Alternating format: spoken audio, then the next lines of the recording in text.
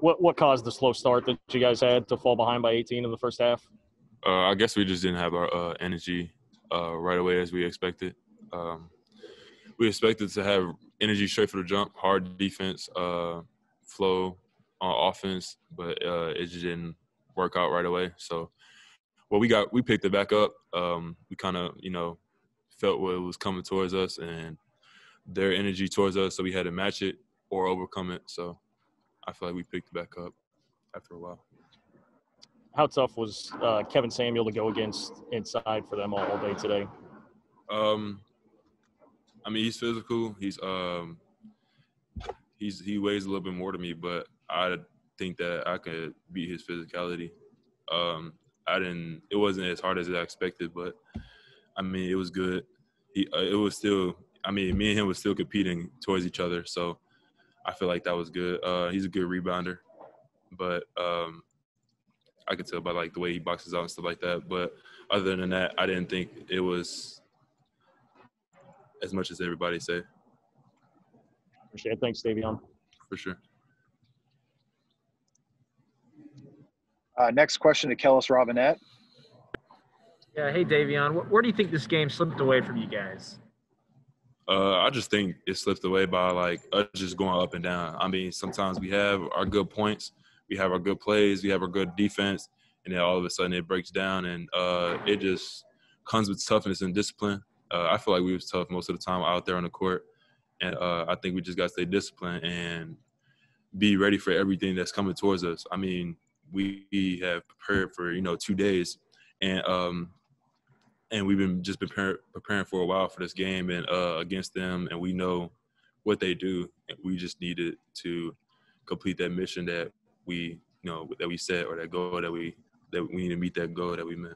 So, what what was it like for you having to play through foul trouble uh, during crunch time late? Um, also, I mean, me being in foul trouble, I got to play safe, but at the same time, I'm be aggressive and still be physical at the same time, still get rebounds, still uh, set my screen, and still, you know, get any uh, contest all the shots I need to. So, I mean, just I just needed to keep playing hard. So, yeah, I didn't. It didn't really matter to me that I had four fouls. What, what's just kind of the general move of the team right now? Do you guys feel like you're still making progress even after a loss? No, we for sure making progress. I mean, every game for us is a learning opportunity. Every game, every time that we step on the court, it's a learning opportunity.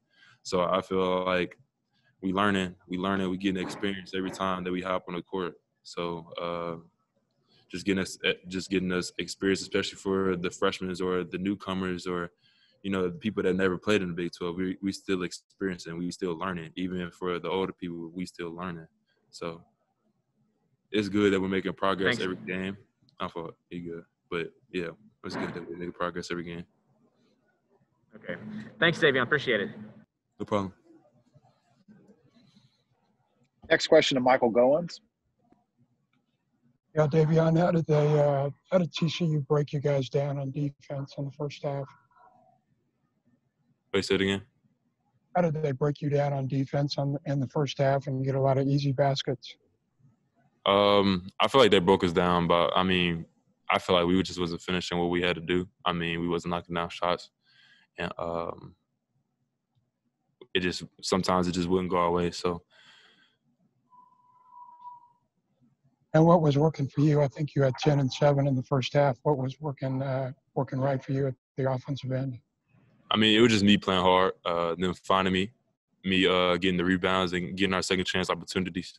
So I feel like most of that just just I mean, it was just uh, the way I was. I, it was just me flowing and uh, me feeling good. So I just kept trying to attack, attack, attack my defender, and everything worked my way. So. And what was your opinion of the offensive foul call that you got on the screen that you set for Nigel Pack?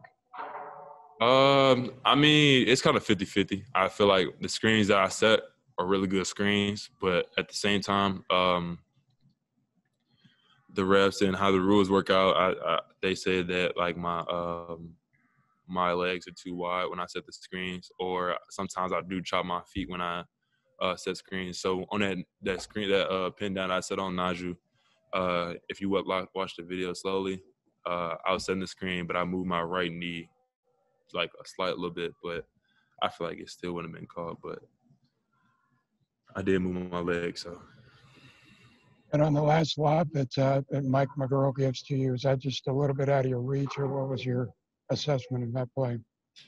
I wasn't I, mean, I wasn't ready. I didn't roll as hard as I usually do. Um, and also it was, it was slightly a little bit high, but it was most definitely it was no excuse. I should have easily caught it. Um, so it was my fault on that, and I even told Mike that. So. Thank you, Davion.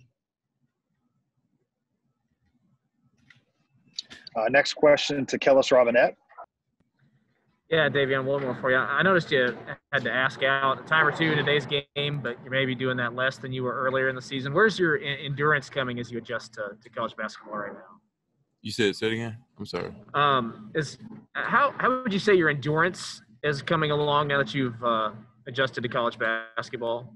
Oh, it's getting better. Uh, I'm getting paid more, um, especially for like the Big 12 and how fast it goes, and uh, how experienced everybody is, and everybody just being uh, competitive. So I mean, I feel like my endurance is getting way better. So um, me getting also the experience and me learning, me like I said, getting in shape. So everything is getting better and better and better. I feel like. Is, is there is there any one thing you're really focusing on right now as you try to keep progressing through Big 12 play? I mean, I just want to keep uh, being a great teammate, and also uh, actually, I want to I want to keep rebounding more. I feel like there's times I should most definitely get the rebound, and I need to. So I think it just, yeah, I just think I need to rebound, and also block shots when guards go up, play better defense also on the uh, ball screens or any type of screens. That's it. And one more, what was it nice having Monty back out there with you? Oh yeah, it was. Uh, Monty's really known for defense, and so it was really good. Um, I knew it was his first game back, and uh, I think he didn't uh, play as he wanted to play, but I feel like it was still good, and it was still that it was, it was still a good chance that he was out there and he did the stuff the way he did, like getting the offensive rebound and executing plays that we need him to do. So yeah, I was excited for him to come out. Thanks, Davion. Appreciate it. No problem. Uh, next question to Michael Goins. Yeah, Davion, you guys take your second road trip uh, in the Big 12 on Tuesday. What's your expectation of going to Lubbock and, and meeting Texas Tech? I mean, we just want to uh, keep progressing, like we talked about before, and uh, let's be two and zero when we go. Well, let's make it two and zero when we go back on the uh, on another road trip.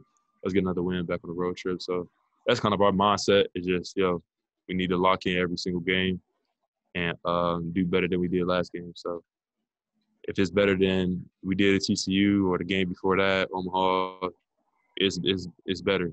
I, all we need is progress, and that's that's our mindset going into uh, Texas Tech.